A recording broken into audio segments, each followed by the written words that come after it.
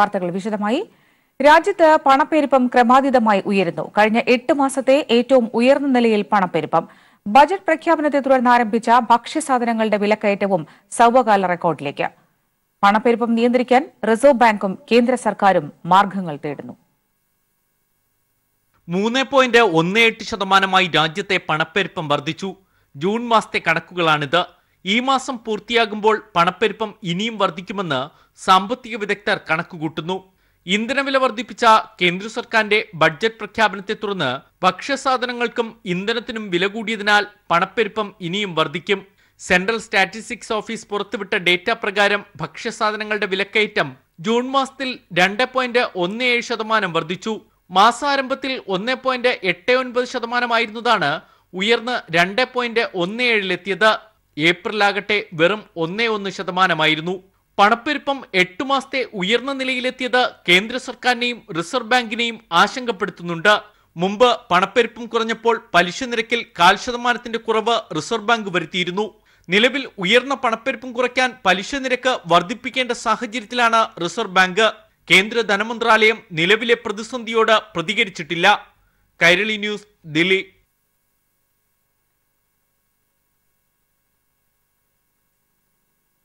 തിങ്കളാഴ്ച ധനവിനിയോഗ ബിൽ അവതരിപ്പിക്കാനിരിക്കെ വിമതരെ അനുനയിപ്പിക്കാൻ ശ്രമം ഊർജിതമാക്കി കർണാടകയിലെ കോൺഗ്രസ് ജെ ഡി എസ് നേതൃത്വം. ധനവിനിയോഗ ബിൽ പാസാക്കാനായില്ലെങ്കിൽ സർക്കാരിന് രാജിവെച്ചൊഴിയേണ്ടി വരും. ഇത് മുന്നിൽ കണ്ട് വിമതരെ അനുനയിപ്പിക്കാനാണ് ഭരണപക്ഷത്തിന്റെ ശ്രമം. വിമത എം എൽ എമാർ മുംബൈയിലായതിനാൽ നീക്കം വിജയിക്കാൻ സാധ്യത കുറവാണ്. പാർട്ടി എം എൽ എമാരെ ബി ജെ പിയും ജെ ഡി എസും കോൺഗ്രസും സുരക്ഷിതമായ റിസോർട്ടുകളിലേക്ക് മാറ്റിയിട്ടുണ്ട്. തിങ്കളാഴ്ച ധനവിനിയോഗ ബിൽ പരിഗണിക്കുന്നതിനാൽ ബുധനാഴ്ചയാകും സർക്കാർ വിശ്വാസ വോട്ട് തേടാൻ സാധ്യത.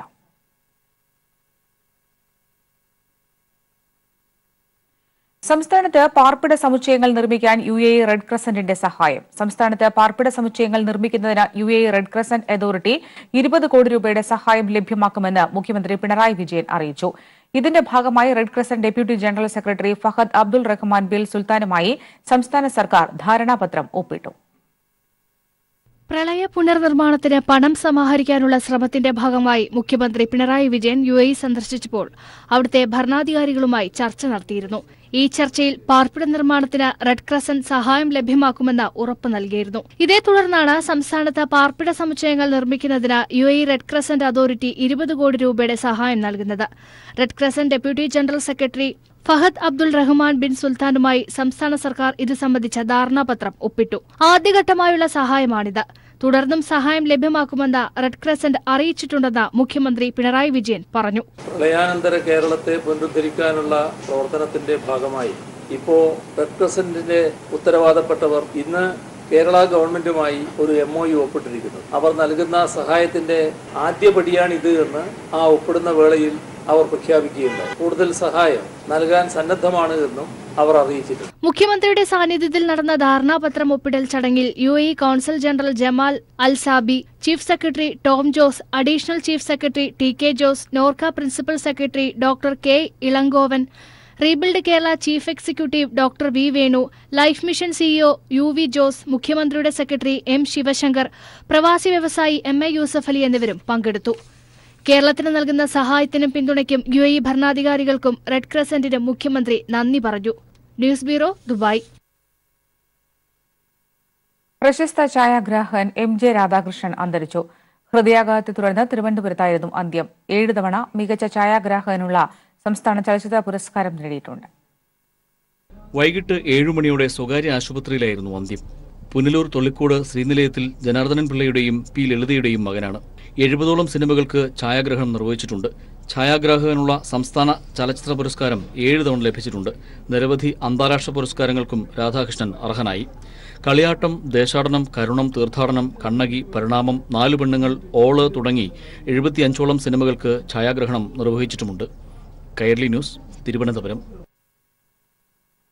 സിനിമാറ്റോഗ്രഫിയെ അക്കാദമിക മികവിലേക്ക് ഉയർത്തുന്നതിൽ പ്രധാന പങ്കുവഹിച്ച കലാകാരനായിരുന്നു എം ജെ രാധാകൃഷ്ണൻ രാധാകൃഷ്ണനെന്ന് മുഖ്യമന്ത്രി. സിനിമ മികച്ച ദൃശ്യാനുഭവമാക്കുന്നതിൽ അദ്ദേഹത്തിന്റെ സംഭാവനകൾ ശ്രദ്ധേയമാണ്. ചലച്ചിത്ര മേഖലയ്ക്ക് അദ്ദേഹത്തിന്റെ നിര്യാണം വലിയ നഷ്ടമാണെന്നും മുഖ്യമന്ത്രി അനുശോചന സന്ദേശത്തിൽ പറഞ്ഞു. ഛായാഗ്രാഹകൻ എം ജെ രാധാകൃഷ്ണന്റെ വിയോഗത്തിൽ കേരള സംസ്ഥാന ചലച്ചിത്ര അക്കാദമി അനുശോചനം രേഖപ്പെടുത്തി. രണ്ട് പതിറ്റാണ്ട് നീണ്ട കരിയറിൽ വിവിധ ഭാഷകളിലായി എഴുപത്തി അഞ്ചിലധികം ചിത്രങ്ങൾക്കാണ് അദ്ദേഹം ക്യാമറ ചലിപ്പിച്ചത്. സമാന്തര ചലച്ചിത്ര ശാഖയുടെ സന്തത സഹചാരിയായിരുന്നു എം ജെ രാധാകൃഷ്ണനെന്നും കേരള സംസ്ഥാന ചലച്ചിത്ര അക്കാദമി അനുശോചന സന്ദേശത്തിൽ പറഞ്ഞു. സൈനികന്റെ ഭാര്യയെ പീഡിപ്പിച്ച കേസിന്റെ വിവരങ്ങൾ സാമൂഹ്യ മാധ്യമങ്ങളിൽ പ്രചരിപ്പിച്ചുവെന്നാരോപിച്ച് ബി ജെ പി പ്രവർത്തകനെ ബി ജെ പി മുൻ കൊല്ലം ജില്ലാ ജനറൽ സെക്രട്ടറി നെടുമ്പന ഓമനക്കൂട്ടൻ മർദ്ദിച്ചതായി പരാതി. ഇരവിപുരം സ്വദേശി മനുവിനാണ് മർദ്ദനമേറ്റത്. പോലീസിന് പരാതി നൽകിയ മനു കൊല്ലം ജില്ലാ ആശുപത്രിയിൽ ചികിത്സ തേടി. സൈനികന്റെ ഭാര്യയെ പീഡിപ്പിച്ച കേസിൽ പ്രതിയായ ബി ജെ പി മുൻ ജില്ലാ ജനറൽ സെക്രട്ടറി നെടുമ്പന ഓമനക്കുട്ടനെ കുറിച്ചുള്ള കൈരളി ന്യൂസ് ഉൾപ്പെടെയുള്ള വാർത്തകൾ സാമൂഹിക മാധ്യമങ്ങളിലൂടെ ബി ജെ പി യുവമോർച്ച പ്രാദേശിക നേതാവായ മനു പ്രചരിപ്പിച്ചുവെന്ന് ആരോപിച്ചാണ് മർദ്ദിച്ചതെന്ന് മനു പോലീസിന് നൽകിയ പരാതിയിൽ പറയുന്നു. കൊല്ലം കളക്ട്രേറ്റിന് സമീപത്ത് വെച്ച് തന്റെ നേരെ നെടുമ്പന ഓമനക്കുട്ടൻ ആക്രോശിച്ചുകൊണ്ട് മർദ്ദിക്കുകയായിരുന്നുവെന്നും കൊല്ലുമെന്ന് ഭീഷണിപ്പെടുത്തിയതായും മനു പറഞ്ഞു. മുമ്പേ നടന്നു ഓമനക്കുട്ടൻ ബി ജെ പിയുടെ മുൻ ജനറൽ സെക്രട്ടറി ജില്ലാ ജനറൽ സെക്രട്ടറി എന്റെ എതിരെ വരികയും എന്നെ കഴുത്തിന് പിടിച്ച് ഒരു കൊലപാതകം ചെയ്ത് എനിക്ക് ഒരു കൊലപാതകം കൂടെ ചെയ്യാൻ വരുമ്പോൾ അടിയിക്കണം നമ്മുടെ കഴുത്തിന് പിടിച്ച് നെഞ്ചെത്തിച്ച് ചെകുറ്റിക്ക് ഒരു അടി അടിക്കുകയും ചെയ്തു. അപ്പോഴത്തേക്ക് എന്റെ കൂടെ വന്നൊരു ഓടി ഓടി വന്നപ്പോഴത്തേക്ക് ഇയാൾ ഓടി ഓടി രക്ഷപ്പെടുകയായിരുന്നു. സ്ത്രീ വീട് സ്ത്രീ കൊണ്ട് പരാതി കൊടുക്കുകയും അത് സംബന്ധമായിട്ട് ഇവിടെ ജില്ലാ ജനറൽ സെക്രട്ടറി സ്ഥാനത്ത് പുറത്താക്കുകയും ചെയ്തിരുന്നു അത് സോഷ്യൽ മീഡിയ ഞാനാണ് ഇട്ടതെന്നുള്ള രീതിയിലാണ് ഇവിടെ ഇതിന്റെ ഉണ്ടാകുന്ന കാര്യം എന്നാൽ പീഡന കേസിൽ മുൻകൂർ ജാമ്യത്തിന് ശ്രമിക്കുന്ന തന്നെ ബോധപൂർവം കള്ളക്കേസിൽ കൊടുക്കാൻ ശ്രമിക്കുകയാണെന്നും തനിക്ക് മനുവിനെ അറിയില്ലെന്നും താൻ ആരെയും മർദ്ദിച്ചിട്ടില്ലെന്നും നെടുമ്പന ഓമനക്കുട്ടൻ കൈരളി ന്യൂസിനോട് പറഞ്ഞു. അതേസമയം മർദ്ദനമേറ്റ മനു പാർട്ടി നേതൃത്വത്തിന് നെടുമ്പന ഓമനക്കുട്ടനെതിരെ പരാതി നൽകും. കൈരളി ന്യൂസ് കൊല്ലം.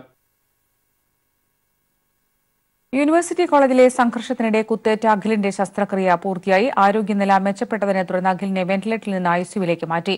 അഖിലിനെ കുത്തിയവരെ പിടികൂടാൻ പോലീസ് നീക്കം ആരംഭിച്ചു. നാല് മണിക്കൂറിലേറെ നീണ്ടുനിന്ന ശസ്ത്രക്രിയയ്ക്ക് ശേഷം കുത്തേറ്റ അഖിലിനെ ഐ സിയുവിലേക്ക് മാറ്റിയിട്ടുണ്ട്. രക്തസമ്മർദ്ദത്തിലെ വ്യതിയാനം ശസ്ത്രക്രിയയ്ക്ക് പ്രശ്നമായെങ്കിലും തിരുവനന്തപുരം മെഡിക്കൽ കോളേജിലെ ഡോക്ടർമാരുടെ പരിശ്രമം അഖിലിനെ രക്ഷപ്പെടുത്തി. പാർട്ടിയുടെ ഉറച്ച അനുഭാവികളായ അഖിലിന്റെ കുടുംബത്തിനൊപ്പം ആദ്യം മുതൽ തന്നെ നിലയുറപ്പിച്ച സി പി ഐ എം പ്രാദേശിക നേതൃത്വം സംഭവം ഉണ്ടായതു മുതൽ അഖിലിന്റെ കുടുംബത്തിനൊപ്പം സജീവമായി മെഡിക്കൽ കോളേജിലുണ്ട്. രാത്രിയോടെ C P I M Thiruvananthapuram ജില്ലാ സെക്രട്ടറി ആനാവൂർ നാഗപ്പനും സംസ്ഥാന കമ്മിറ്റി അംഗം വി ശിവൻകുട്ടിയും അഖിലിന്റെ കുടുംബത്തെ സന്ദർശിച്ച് എല്ലാ സഹായവും നൽകുമെന്ന് ഉറപ്പു നൽകി. യൂണിവേഴ്സിറ്റി കോളേജ് വിദ്യാർത്ഥികളായ നസീം ശിവരഞ്ജിത്ത് അദ്വൈത് അമൽ ഇബ്രാഹിം ആരോമൽ എന്നിങ്ങനെ ആറുപേരുടെ പേരിൽ വധശ്രമത്തിന് കണ്ടോൺമെന്റ് പോലീസ് കേസെടുത്തു. പ്രതികളായവരെ എസ് എഫ് ഐയിൽ നിന്നും സസ്പെൻഡ് ചെയ്തു. പ്രതികളുടെ വീടുകളിൽ രാത്രി പോലീസ് പരിശോധന നടത്തി. ശസ്ത്രക്രിയയ്ക്ക് മുമ്പ് അഖിലിന്റെ മൊഴിയെടുക്കാൻ മജിസ്ട്രേറ്റ് എത്തിയെങ്കിലും നില മോശമായിരുന്നതിനാൽ മൊഴിയെടുക്കാൻ കഴിഞ്ഞില്ല. കുത്തിയതാരെന്നറിയില്ലെന്ന് ഡോക്ടർക്ക് നൽകിയ മൊഴിയിൽ അഖിൽ പറഞ്ഞതായി സൂചനയുണ്ട്. College principal higher education additional director എന്നിവർ ആശുപത്രിയിലെത്തി അഖിലിന്റെ കുടുംബാംഗങ്ങളെ കണ്ടു. News bureau Thiruvananthapuram. തിരുവനന്തപുരം വിളപ്പിൽ ശാലയിൽ ഒഴിഞ്ഞ വസ്തുവിൽ കുട്ടിയുടെ മൃതദേഹം കണ്ടെത്തി. അഴുകിയ നിലയിലാണ് മൃതദേഹം കണ്ടെത്തിയത്. മൃതദേഹം രണ്ട് ദിവസം മാത്രം പ്രായമുള്ള കുട്ടിയുടേതാണെന്ന് സൂചന. വിളപ്പിൽശാല ചെറുകോട് ലൈനിലെ ആളൊഴിഞ്ഞ പറമ്പിലാണ് ജനിച്ച് രണ്ട് ദിവസം മാത്രം പ്രായമുള്ള നവജാത ശിശുവിന്റെ മൃതദേഹം കണ്ടെത്തിയത്. ബാഗിൽ പൊതിഞ്ഞ നിലയിലായിരുന്നു മൃതദേഹം. മൃതദേഹം അഴുകിയ നിലയിലാണ്. ബാഗ് നായ കടിച്ചു വലിക്കുന്നതിനിടെ പ്രദേശവാസിയായ പഞ്ചായത്ത് അംഗം ബുഷറ ബീവിയാണ് മൃതദേഹം കണ്ടത്. ഒരു കവർ പട്ടി കടിച്ചു വലിക്കുന്നത് കണ്ടു. അപ്പോൾ അത് ഈ കടിച്ചു വലിക്കുന്നത് കണ്ട സമയത്ത് നല്ല നാറ്റമുണ്ടായിരുന്നു ആ ദുർഗന്ധം അറിഞ്ഞുകൊണ്ട് അവർ പട്ടിയൊക്കെ എറിഞ്ഞ് ഓടിച്ചു പട്ടി എറിഞ്ഞ് ഓടിച്ച സമയത്ത് നോക്കിയപ്പോഴാണ് കുഞ്ഞിനെ ആ സൈഡിലായിട്ട് കിടക്കുന്നതായിട്ട് കണ്ടു പോലീസിൽ വിവരമറിയിച്ചതിനെ തുടർന്ന് നെടുമങ്ങാട് ഡിവൈഎസ്പി സ്റ്റുവർട്ട് കീലർ സംഭവസ്ഥലത്തെത്തി. ഇരുട്ട് വീണതിനാൽ ഇൻക്വസ്റ്റ് നടപടികൾ നടത്താനായില്ല. രാവിലെ ഫോറൻസിക് വിദഗ്ധരെത്തിയ ശേഷം മൃതദേഹ പരിശോധന നടത്തും. സ്ഥലത്ത് പോലീസ് കാവൽ ഏർപ്പെടുത്തി.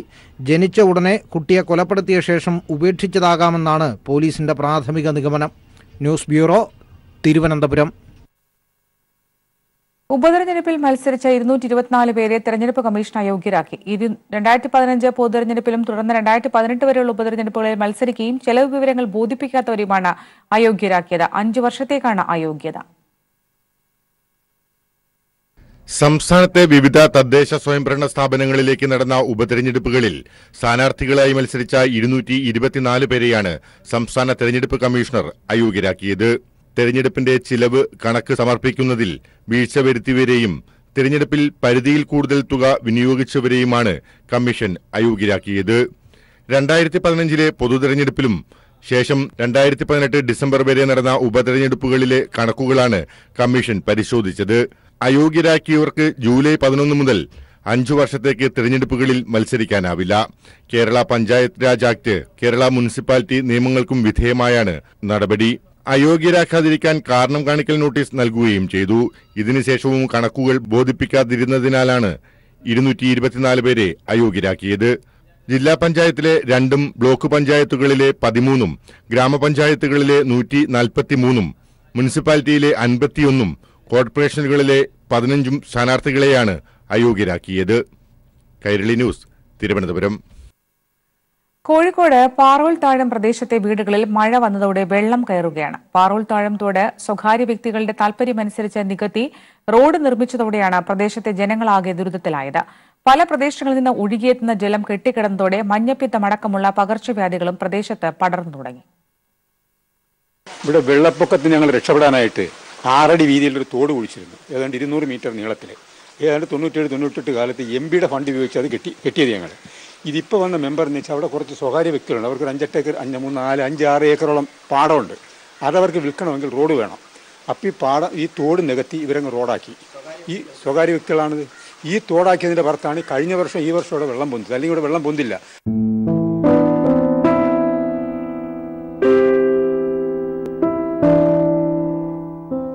കോഴിക്കോട് ഫറൂഖിലെ പാറോൾ താഴം പ്രദേശത്തിന്റെ ദുരവസ്ഥയാണിത്. മഴ പെയ്തതോടെ പ്രദേശത്തെ വീടുകളിൽ വെള്ളം കയറി തുടങ്ങി. കഴിഞ്ഞ പ്രളയകാലം വെള്ളം കയറി മാറി താമസിക്കേണ്ടി വന്നവരാണിവർ. മഴ കനത്താൽ സ്ഥിതി വ്യത്യസ്തമാവില്ല. മുൻപൊന്നും ഈ ദുസ്ഥിതി ഇവർക്ക് വന്നിട്ടുമില്ല. പാറാൾത്താഴം താഴം പുളിക്കത്തറ ഭാഗത്തെ ആറടി വീതിയുണ്ടായിരുന്ന തോട് നികത്തി മുന്നൂറ് മീറ്റർ നീളത്തിൽ റോഡ് നിർമ്മിച്ചതോടെയാണ് ദുരിതം ആരംഭിച്ചത്. മുപ്പത്തിയഞ്ച് വീടുകളിൽ ഇപ്പോൾ വെള്ളം കയറി തുടങ്ങിയിരിക്കുന്നു. പ്രദേശത്തെ ജനങ്ങളുടെ എതിർപ്പൊന്നും യു ഡി എഫ് കൗൺസിലർ വകവച്ചില്ലെന്ന് ഇവർ പറയുന്നു. ഞാനും മൂപ്പരുള്ളൂ വീട്ടിൽ. വെള്ളത്തിൽ മുങ്ങി കിടക്കുകയാണ് ഇപ്പം വെള്ളമൊക്കെ ബ്ലോക്ക് ആയിക്കഴിഞ്ഞ് നമ്മളവിടെ നിന്ന് വെള്ളം പോകില്ല റോഡ് പണി എടുക്കുന്ന സമയത്ത് പറഞ്ഞ് ഡ്രെയിനേജ് വേണമെന്ന് പറഞ്ഞു ഡ്രെയിനേജിക്ക് ഫണ്ടില്ല. ഇപ്പം വെള്ളക്കെട്ടിന് ഇപ്പൊ ഏത് സമയത്തും കാലുന്ന ഉണങ്ങുന്ന ടൈമിൽ ഉണ്ടാവരില്ല ഇവിടെ വീടുകളില്ലാത്ത സ്രാങ്കുപടിയിലെ സ്വകാര്യ വ്യക്തികളുടെ സ്ഥലത്തിന് വില വർദ്ധിപ്പിക്കാനുണ്ടാക്കിയ കച്ചവട തന്ത്രമായിരുന്നു അശാസ്ത്രീയമായി ഡ്രെയിനേജ് സംവിധാനങ്ങൾ ഒരുക്കാതെയുള്ള റോഡ് നിർമ്മാണം. തോട് ഇല്ലാതായതോടെ മുതുകാട്ടുപാറ പെരുമുഖം നാലുകണ്ടം കല്ലമ്പാറ നെന്മണിത്താഴം എന്നിവിടങ്ങളിൽ നിന്നും ഒഴുകിയെത്തുന്ന വെള്ളം പുളിക്കത്തറ തോട് വഴി ഒഴുകിപ്പോകാനാവാതെ കെട്ടിക്കിടക്കാൻ തുടങ്ങി. ഒഴുകി ഒഴുകിവരുന്ന ചത്തപ്പട്ടിയും കോഴിയും പെരുച്ചാഴിയുമെല്ലാം വീടുകൾക്ക് മുന്നിലെ വെള്ളത്തിൽ അഴുകിക്കിടക്കുകയാണ്. മഞ്ഞപ്പിത്തവും പനിയടക്കമുള്ള പകർച്ചവ്യാധികളും പടരുകയാണ്.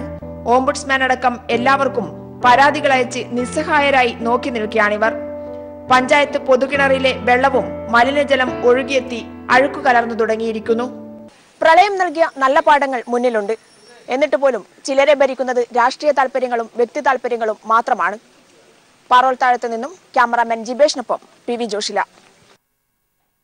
B S N L കരാർ തൊഴിലാളികളുടെ സമരം പന്ത്രണ്ടാം ദിവസത്തിൽ. മാസങ്ങളായി ശമ്പളം പോലും ഇല്ലാത്ത തൊഴിലാളികൾ ദുരിതത്തിലായതിനെ തുടർന്നാണ് സംസ്ഥാന വ്യാപകമായി അനിശ്ചിതകാല സത്യാഗ്രഹ സമരം ആരംഭിച്ചത്. കേന്ദ്ര സർക്കാർ ഉടൻ ഇടപെട്ടില്ലെങ്കിൽ തങ്ങളുടെ കുടുംബങ്ങളെ ഉൾപ്പെടെ സമരരംഗത്തേക്ക് ഇറക്കുമെന്ന് തൊഴിലാളികൾ പറഞ്ഞു. കഴിഞ്ഞ ആറുമാസക്കാലമായി ബി എസ് എൻ എൽ കരാർ തൊഴിലാളികൾക്ക് ശമ്പളമില്ല. ദുരിതത്തിലാണ് പല ജീവനക്കാരും. കേന്ദ്ര സർക്കാർ തങ്ങളോട് ക്രൂരത കാണിക്കുന്നതായാണ് തൊഴിലാളികൾ പറയുന്നത്. അന്യായമായി തൊഴിലാളികളെ പിരിച്ചുവിടാനുള്ള നീക്കം പിൻവലിക്കുക സ്വകാര്യവൽക്കരണത്തിൽ നിന്ന് പിന്മാറുക മുടങ്ങിയ ശമ്പളം നൽകുക തുടങ്ങിയ ആവശ്യങ്ങൾ ഉന്നയിച്ചാണ് സംസ്ഥാന വ്യാപകമായി തൊഴിലാളികൾ സമരം നടത്തുന്നത്. കേന്ദ്ര സർക്കാർ തങ്ങളോട് വഞ്ചന കാണിക്കുന്നതായും കുടുംബം പോലും പുലർത്താനുള്ള സാഹചര്യത്തിലല്ല തങ്ങളെന്നും തൊഴിലാളികൾ പറയുന്നു. ഞങ്ങളെ കുട്ടികളെയും നോക്കാൻ കഴിയുന്നില്ല. പ്രായമായി കിടക്കുന്ന അച്ഛനും അമ്മയ്ക്കും ഒരു നേരത്തെ കുഴമ്പ് പോലും വാങ്ങിക്കൊടുക്കാനുള്ള കാശ് ഇതിനകത്തുനിന്ന് കിട്ടുന്നില്ല.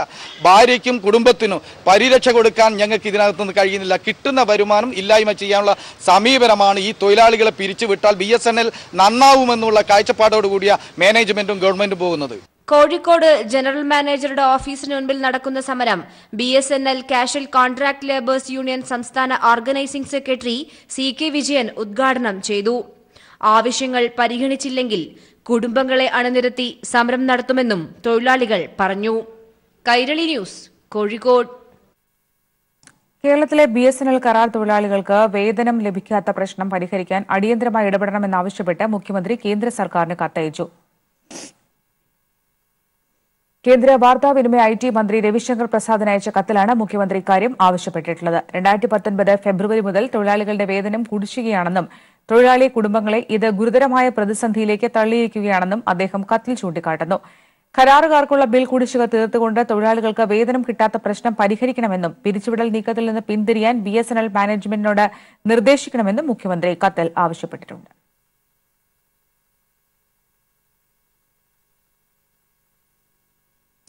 കാസർഗോഡ് ജില്ലയിലെ ആയിരക്കണക്കിന് കമുക് കർഷകർ കടുത്ത പ്രതിസന്ധിയിൽ ശക്തമായ വരൾച്ചയും തുടർന്നുണ്ടായ രോഗങ്ങളും വ്യാപക കൃഷിനാശത്തിന് കാരണമായി. പ്രതിസന്ധി അതിജീവിക്കാൻ കേന്ദ്ര സംസ്ഥാന സർക്കാരുകൾ പ്രത്യേകിച്ച് പാക്കേജ് നടപ്പാക്കണം എന്നാവശ്യപ്പെട്ട് പ്രക്ഷോഭം സംഘടിപ്പിക്കുവാൻ കാസർഗോഡ് ചേർന്ന കമുക് കർഷകരുടെ സമരപ്രഖ്യാപന കൺവെൻഷൻ തീരുമാനിച്ചു.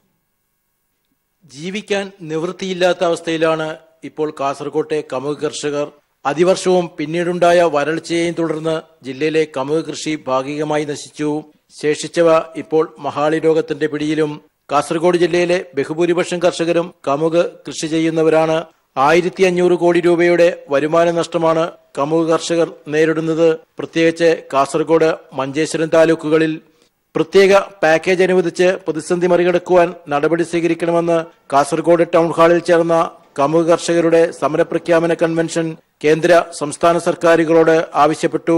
ഈ ആവശ്യം ഉന്നയിച്ച് ഈ മാസം മുപ്പതിന് കമുക് കർഷകർ കേരള കർഷക സംഘത്തിന്റെ നേതൃത്വത്തിൽ കാസർഗോഡ് കലക്ടറേറ്റിലേക്ക് മാർച്ച് സംഘടിപ്പിക്കുമെന്ന് സംസ്ഥാന joint secretary C H Kunhambu പറഞ്ഞു. കേരള കർഷക സംഘം കവുങ്ങ് കർഷകരുടെ പ്രശ്നം ഏറ്റെടുത്ത് അവർക്ക് മതിയായ നഷ്ടപരിഹാരം നൽകണമെന്ന് ആവശ്യപ്പെട്ടുകൊണ്ട് വലിയൊരു പ്രക്ഷോഭത്തിന് തുടക്കം കുറിച്ചിരിക്കുകയാണ്. ജൂലൈ മാസം മുപ്പതാം തീയതി കവുങ്ങ് കർഷകരുടെ ഒരു കലക്ടറേറ്റ് മാർച്ച് നടത്തുന്നതിന് വേണ്ടി തീരുമാനിച്ചു.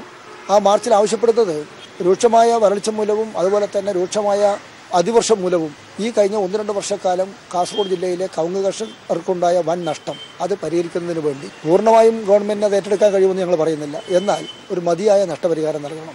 ഈ വർഷത്തെ ബഡ്ജറ്റിൽ എൽ ഡി എഫ് സർക്കാർ കമുക കർഷകരെ സഹായിക്കാൻ രണ്ട് കോടി രൂപ നീക്കിവച്ചിട്ടുണ്ട്. എന്നാൽ കേന്ദ്ര സർക്കാർ കമുക കർഷകരെ പൂർണമായി അവഗണിക്കുകയാണ്.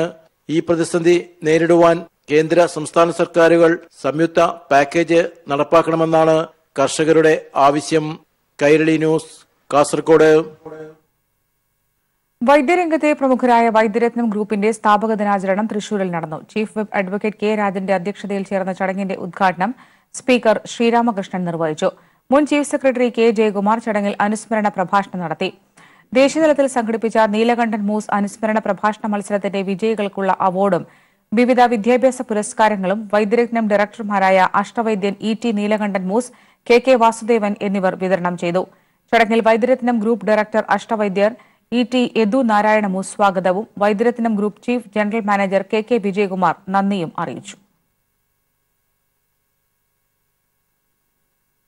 സഭയിലുണ്ടാകുന്ന വിഭാഗീയ ശ്രമങ്ങളിൽ വിശ്വാസികൾ ജാഗ്രത പുലർത്തണമെന്ന് കർദിനാൾ മാർ ജോർജ് ആലഞ്ചേരി. അജപാലന അധികാരം ഉപയോഗപ്പെടുത്തി വൈദികർ സഭാവിരുദ്ധ പ്രവർത്തനങ്ങൾ നടത്തരുതെന്ന് മുന്നറിയിപ്പ്. അതിരൂപതയ്ക്ക് നഷ്ടം വരുന്ന ഒരു തീരുമാനവും താൻ എടുത്തിട്ടില്ലെന്നും സഹായമെത്രാൻമാരെ നീക്കിയത് തന്റെ തീരുമാനപ്രകാരം അല്ല എന്നും കർദിനാൾ വ്യക്തമാക്കുന്നു. സർക്കുലർ ഞായറാഴ്ച പള്ളികളിൽ വായിക്കും. വിശ്വാസികളിൽ ഒരു വിഭാഗത്തെ നിർത്തി വിമത വിഭാഗം പ്രതിഷേധം ശക്തമാക്കിയതോടെയാണ് കർദിനാൾ മാർ ജോർജ് ആലഞ്ചേരി വിശദമായ സർക്കുലർ ഇറക്കുന്നത്. ഭൂമി ഇടപാട് വിഷയവുമായി ബന്ധപ്പെട്ട് ഒരു വിഭാഗം തെറ്റിദ്ധാരണകൾ പ്രചരിപ്പിക്കുകയാണ്. അതിരൂപതയ്ക്ക് നഷ്ടം വരുത്തുന്ന ഒരു നടപടിയും താൻ സ്വീകരിച്ചിട്ടില്ല. വൈദികർ സഭാവിരുദ്ധമായ നടപടികളിൽ ഏർപ്പെടരുതെന്നും കർദിനാൾ ആവശ്യപ്പെടുന്നു. സഹായമത്രന്മാരായ സെബാസ്റ്റ്യൻ എടേന്ദ്രത്തിനെയും ജോസ് പുത്തൻവിട്ടലിനെയും നീക്കിയത് തന്റെ തീരുമാനമല്ല. സഹായമത്രന്മാരെ മാറ്റാനുള്ള കാരണം വത്തിക്കാൻ തന്നെ അറിയിച്ചിട്ടുമില്ല. അതിരൂപതയ്ക്കുണ്ടായ പ്രശ്നങ്ങളെയും വിഭാഗതയെയും കുറിച്ച് വത്തിക്കാൻ നടത്തിയ പഠനങ്ങളുടെയും അന്വേഷണങ്ങളുടെയും അടിസ്ഥാനത്തിലാണ് നടപടി. എന്നാൽ ഇത് തന്റെ തീരുമാനമായി വ്യാഖ്യാനിക്കാൻ ശ്രമം നടക്കുന്നു. അതിരൂപതയുടെ അജപാല നടത്തിപ്പിന് സഹായകമായ തീരുമാനങ്ങൾ അടുത്ത സിനിഡിൽ ചർച്ചയ്ക്കെടുക്കും. അതിരൂപതയ്ക്കായി പ്രത്യേക അധികാരങ്ങളോടിയ ഒരു മെത്രാനെ നിയമിക്കും.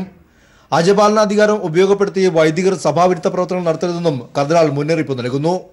വിശ്വാസികളിൽ വിഭാഗീയത ഉണ്ടാക്കാൻ ചില ശ്രമങ്ങൾ നടക്കുന്നുണ്ട്. വിശ്വാസികൾ ഇക്കാര്യങ്ങളിൽ ജാഗ്രത പുലർത്തണമെന്നും സർക്കുലറിലുണ്ട് ഞായറാഴ്ച സർക്കുലർ പള്ളികളിൽ വായിക്കാനുള്ള നിർദ്ദേശം. കൈർലി ന്യൂസ് കൊച്ചി.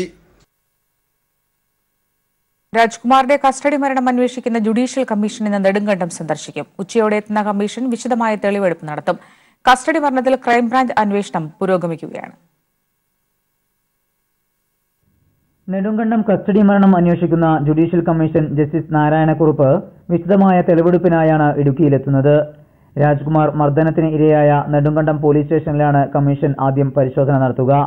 തുടർന്ന് നാട്ടുകാരിൽ നിന്ന് രാജ്കുമാറിനെ പോലീസ് ഏറ്റുവാങ്ങിയ പുളിയന്മല രാജ്കുമാർ റിമാൻഡിൽ കഴിഞ്ഞ പീരുമേട് സബ് ജയിൽ ചികിത്സ തേടിയ പീരുമേട് താലൂക്ക് ആശുപത്രി എന്നിവിടങ്ങളിൽ കമ്മീഷൻ സന്ദർശനം നടത്തും. അടുത്ത ദിവസങ്ങളിലായിരിക്കും പോസ്റ്റ്മോർട്ടം നടന്ന കോട്ടയം മെഡിക്കൽ കോളേജിൽ കമ്മീഷൻ പരിശോധന നടത്തുന്നത്. കസ്റ്റഡി മരണം അന്വേഷിക്കുന്ന സംസ്ഥാന മനുഷ്യാവകാശ കമ്മീഷൻ കഴിഞ്ഞ ദിവസം പീരിമേട് സബ് ജയിലിലും നെടുങ്കണ്ടം പോലീസ് സ്റ്റേഷനിലും എത്തി തെളിവെടുത്തിരുന്നു. രാജ്കുമാറിന്റെ മരണത്തിൽ ക്രൈംബ്രാഞ്ച് അന്വേഷണവും പുരോഗമിക്കുകയാണ്. സംഭവത്തിൽ പ്രതികളായ നാല് പോലീസുകാരെ ക്രൈംബ്രാഞ്ച് അറസ്റ്റ് ചെയ്തിരുന്നു. ഒന്നാം പ്രതി എസ് ഐ സാബുവിനെ കസ്റ്റഡിയിൽ വാങ്ങി ചോദ്യം ചെയ്യലും തെളിവെടുപ്പും പൂർത്തിയാക്കിയിട്ടുണ്ട്.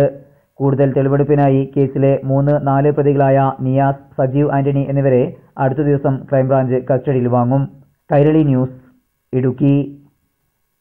മലമ്പുഴ എലിവാലിലെ വിദ്യാർത്ഥികളുടെ യാത്രാ ദുരിതത്തിന് പരിഹാരം. പാലക്കാട് നിന്ന് മലമ്പുഴയിലെ മലയോര മേഖലയായ എലിവാലിലേക്ക് K S R T C bus ആരംഭിച്ചു. മലമ്പുഴ എം എൽ എയും ഭരണപരിഷ്കാര കമ്മീഷൻ ചെയർമാനുമായ വി എസ് അച്യുതാനന്ദന് വിദ്യാർത്ഥികൾ നൽകിയ പരാതിയെ തുടർന്നാണ് പുതിയ ബസ് സർവീസ് ആരംഭിച്ചത്. മലമ്പുഴയുടെ മലയോര മേഖലയായ എലിവാളിൽ നിന്നും മലമ്പുഴയിലെ സ്കൂളിലേക്കെത്താനും മടങ്ങിപ്പോകാനും യാത്രാ സൗകര്യമില്ല. പ്രശ്നത്തിന് പരിഹാരം കാണണമെന്നാവശ്യപ്പെട്ട് മലമ്പുഴ ഹയർ സെക്കൻഡറി സ്കൂളിലെ വിദ്യാർത്ഥികളാണ് വി എസ് അച്യുതാനന്ദന് പരാതി നൽകിയത്. ഇതേ തുടർന്നാണ് പാലക്കാട് നിന്നും എലിവാളിലേക്ക് പുതിയ K S R T C bus service ആരംഭിച്ചത്. യാത്രാക്ലേശത്തിന് പരിഹാരം കണ്ട സന്തോഷത്തിലാണ് വിദ്യാർത്ഥികൾ. ഒരു ബസ് ഉണ്ടായിരുന്നു വാനമ്പാടി എന്ന ബസ്. നല്ല തിരക്കായിരുന്നു. പിന്നെ അവിടെ തന്നെ ജനിച്ചു വളർന്ന ചേട്ടനെ ഓടിച്ചാറാണ് ഞങ്ങളൊക്കെ ജീവനോടെ ഇങ്ങോട്ട് വരുന്നത്.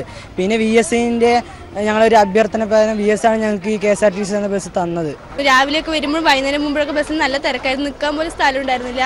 ഇപ്പോൾ ബസ് നല്ല സൗകര്യമായി പോകാനും വരാനൊക്കെ ബസ് ഈ വൈകി പോണ കാരണം പല പീരീഡുകൾ നഷ്ടപ്പെട്ടിട്ടുണ്ട്. ക്ലാസ്സുകൾ കുറെ നഷ്ടപ്പെട്ടിട്ടുണ്ട്. രാവിലെയൊക്കെ ഭയങ്കര തിരക്കിലും നല്ല ഇതിലൊക്കെ ആയിരുന്നു. പിന്നെയാണ് ഞങ്ങൾ ക്ലാസ്സിൽ എല്ലാവരും പറഞ്ഞ് എല്ലാവരുമായിട്ട് നിവേദനം കൊടുത്തു. പിന്നെ അതിന്റെ വരെ ഞങ്ങൾക്ക് ബസ് കിട്ടി.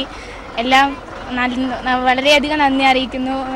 നേരത്തെ വേലകം പൊറ്റവരെ മാത്രമാണ് ബസ് സർവീസ് ഉണ്ടായിരുന്നത്. വനാതിർത്തിയിലൂടെ നാല് കിലോമീറ്ററിലേറെ വിദ്യാർത്ഥികൾ കാൽനടയായി എത്തിയാണ് സ്കൂളിലേക്ക് പോയിരുന്നത്. മലമ്പുഴ ഹയർ സെക്കൻഡറി സ്കൂളിലും മലമ്പുഴ ഐ ടി ഐയിലും ആനക്കൽ ഡ്രൈവർ സ്കൂളിലും പഠിക്കുന്ന വിദ്യാർത്ഥികൾക്ക് പുതിയ bus service ആശ്വാസമാവും. Kairali news Palakkad.